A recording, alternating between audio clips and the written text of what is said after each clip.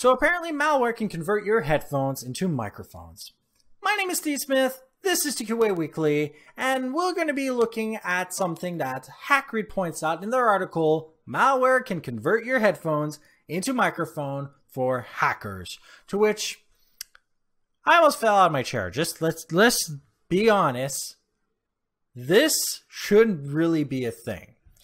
I figured out as a kid what I'm about to tell you by accident. And here is the thing. Let's start off with your hearing. We only hear in analog. There's no such thing as digital for us. We can only hear because sound waves create different variants in pressure for our ears. That's how we hear, that's how we designed our hardware to work, and we're going to start off with the fact that that hardware, that chip responsible for that specific task, is called a digital analog converter, often referred to as the DAC. It is part of your sound card. Headphones can only give you sound in your ears because whatever audio file, your MP3 player, your your cell phone, your tablet, or even computer or laptop is trying to generate, that file goes through a DAC that actually creates a pulsating stream of electrons that moves a coil around a magnet, vibrating a skin, creating a sound wave that we can hear. At no point is there malware that can affect this process. Let's just put that out there.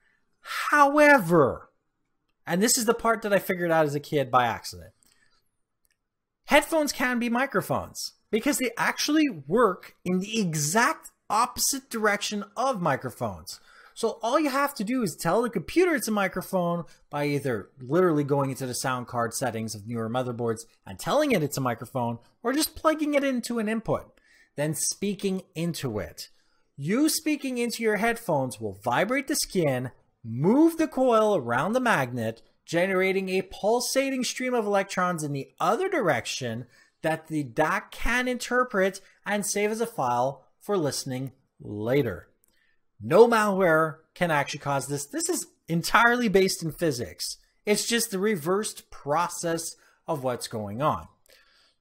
Also, it is impossible to record and listen to sound at the same time with the same hardware. So what's going on?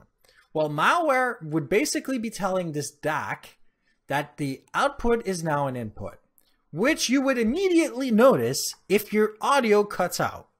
So obviously viruses won't target while you are listening to music, meaning that the easiest way to defeat this malware is to unplug your speakers and headphones whenever you're not using it. Which I do. I don't know how many of you do, but I actually do turn off my sound system or my headphones whenever I'm not actually using them.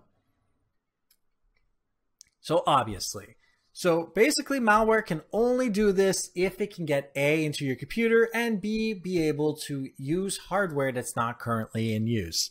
So should you be afraid of this? No, just keep your computer clean. Don't download from stupid places and use an antivirus every once in a while to make sure your computer doesn't have a virus in it. And then you should be fine. Nobody's that interested in what you have to say anyway. So I hope you don't start panicking for no reason whatsoever. Like this episode if you like it, dislike it if you didn't, share with those that you think can benefit from this, and of course, don't forget to subscribe. And if you have any questions, comments, suggestions for topics, email me at ask at tqaweekly.com or go to tqaweekly.com for everything else. And of course, if you want to make the show better, go to patreon.com slash tqaweekly and become a patron today. Patrons get these episodes 24 hours in advance of everyone else. Thank you in advance. Have a great day and goodbye.